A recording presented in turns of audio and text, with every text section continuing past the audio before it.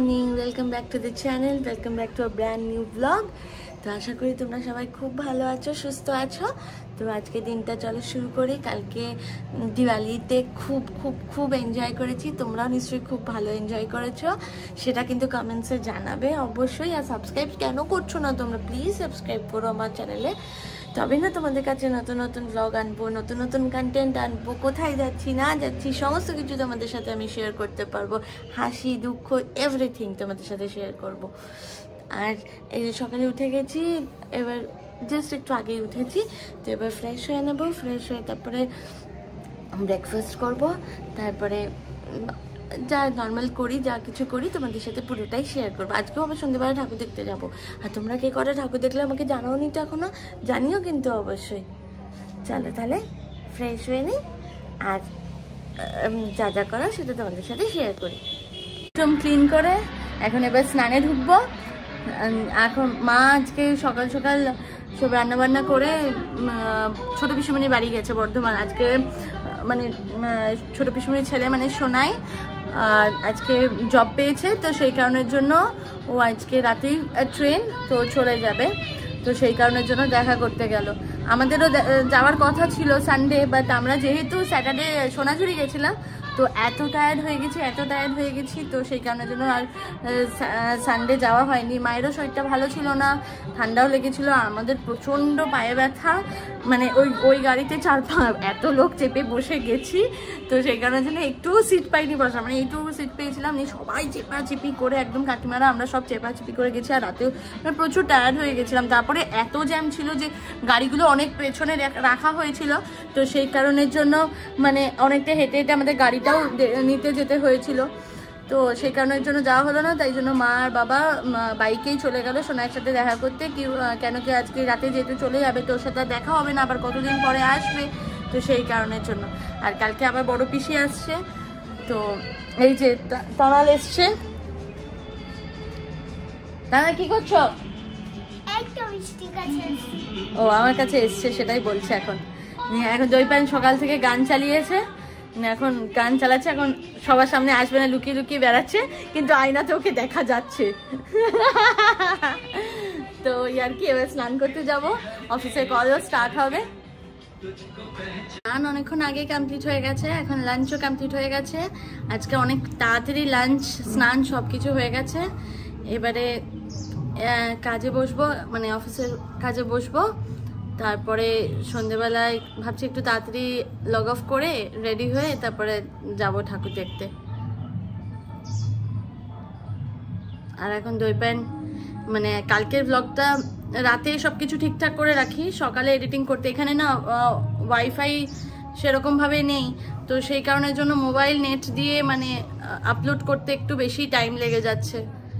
তো ওই জন্য আপলোড করতেও দেরি হয়ে যাচ্ছে। আর একবার বসালে প্রায় দু ঘণ্টা টাইম লেগে যাচ্ছে এডিট ফেডিট করে সব কিছু ঠিকঠাক করে করতে।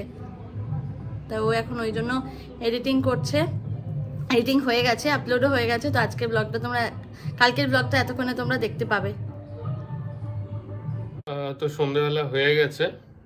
আমরা মোটামুটি কাজকর্ম গুটিয়ে ফেলেছি আপাতত যদিও সঞ্চিতারও সেরকম ভাবে হয়নি। হ্যাঁ সঞ্চিতা এখনও গুটিয়ে উঠতে পারেনি। But still she is trying to wrap up her work and ready হওয়ার জন্য সে ট্রাই করছে। হ্যাঁ ল্যাপটপ ওর খোলা থাকবে এটা কিছু করার নেই। যতক্ষণ না রুম থেকে বেরোবো ততক্ষণ অবধি হচ্ছে ল্যাপটপ ওর ওপেন থাকবে। সেটা নিয়ে কোনো কিন্তু কোনো রকম মানে সেকেন্ড থটস বলো যাই বলো কোনো কিচ্ছু থাকবে না। ওটা কিন্তু থাকবেই ওর সঙ্গে।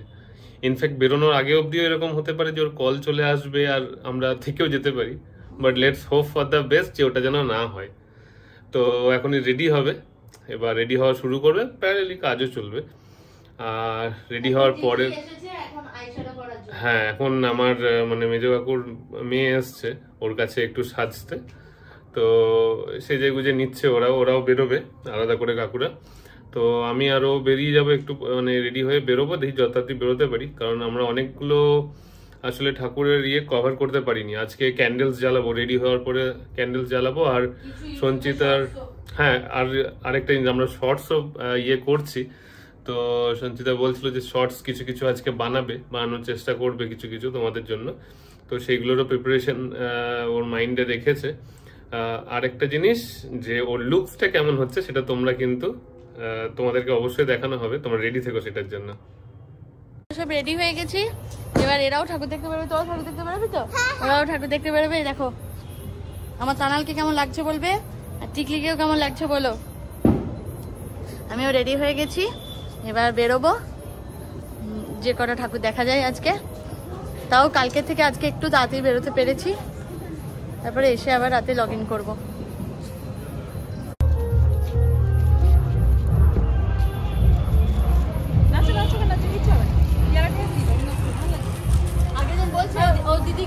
লজ্জা করেই তুই পাগল হয়ে গেলি।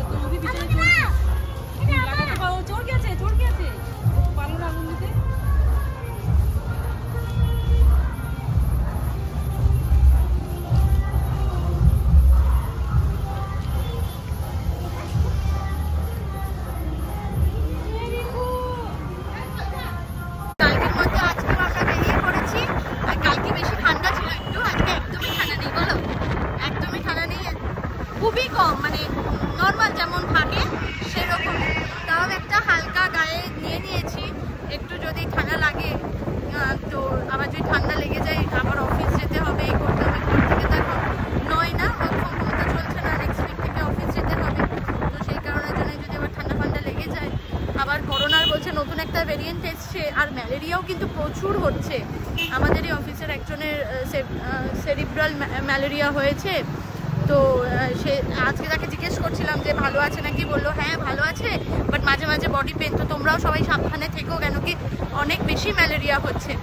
তো ওই আর কি, সেই কারণের জন্য গায়ে একটা চাদর নিয়ে নিয়েছি, যদি ঠান্ডা লেগে যায়। তো ব্যাস, বেরিয়ে পড়েছি। এবার দেখি কোথায় যাই আজকে। সেরকম তোমাদেরকে দেখাবো। তোমরা কে কোথায় বেরিয়েছো জানিও কমেন্টসে আর সাবস্ক্রাইব করতে ভুলো না। প্লিজ সাবস্ক্রাইবটা করো অবশ্যই আমার চ্যানেলে চলে এসেছি এখানে এটা আমাদের বাড়ির পাশেই একদমই কাছে দিশারি সঙ্গ বলে একটা জায়গা। মানে দিশারি সঙ্গ জায়গা এটা? ও দিশারি জায়গা। মোড়। যারা এদিকে যদি কোনো সাবস্ক্রাইবার যদি আমায় কেউ সাবস্ক্রাইব করে থাকো যদি হ্যাঁ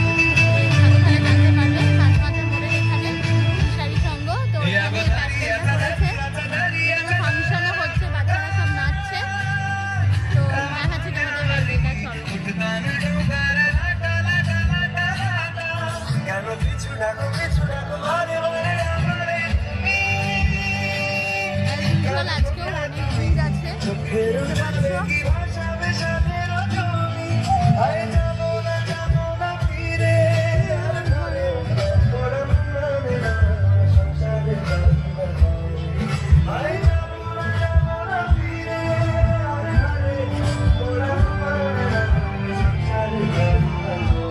আজকেও মা বাড়ি চলে এসেছি।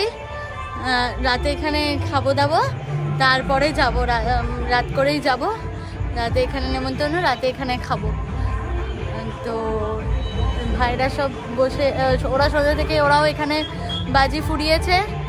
আর তারপরে, এখন ওরা শুয়ে শুয়ে মোবাইল দেখছে সব। এখানেও প্রচুর লাইটিং করেছে। চারিদিকে লাইটিং দাদু ভাই ভেতরে বসে আছে। মাও আছে, মাসিমণি, মাইমা, ওরা সব রান্না বান্না করছে।